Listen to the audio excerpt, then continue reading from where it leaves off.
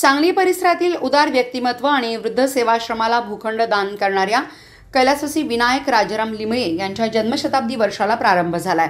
कुपवाडमधील वृद्ध सेवाश्रमाचे देणगीदार विनायक लिमये यांच्या प्रतिमेचे पूजन जन्मशताब्दी वर्षानिमित्त त्यांचे नातेवाईक रघुनाथ केळकर यांच्या हस्ते करण्यात आले.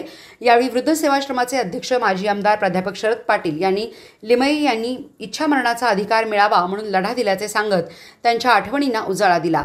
लिमये यांचे नातेवाईक केळकर यांनी ऑक्सिजन बेडसाठी अकरा हजार रुपयांची देणगी दिली आहे. त्यांनी लिमये यांच्या व्यक्तिमत्वाचा उलगडा केला. आपल्या आयुष्याच्या उत्तरार्ध त्यांनी देखभाल करणाऱ्या शकुंतला शिरगुप्पे यांना भूखंड आणि बंगला मोफत दिला. तर विश्रामबाग येथील एक भूखंड वृद्ध सेवाश्रमाला दान केला.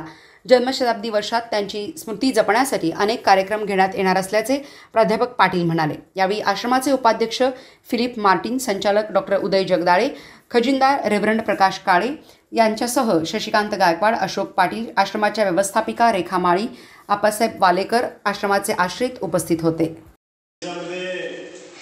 आत्महत्या हा गुन्हा आहे.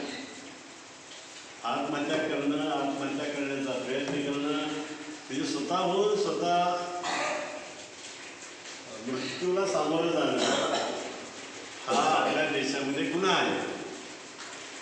आता नुकताच भारत सरकारनं तिचा एक वेगळा कायदा केलेला आहे तो हा वेगळा. परंतु अनेक वर्ष हा कायदा अस्तित्वात आहे होता. आणि त्या इच्छा मरणाच्या अधिकाराबद्दल लढणारे जे महाराष्ट्रामध्ये किंवा देशामध्ये लोक होते त्यामध्ये लिंबे साहेब एक होते.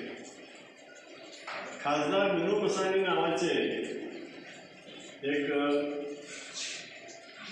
सॉरी विनू मसानी विनू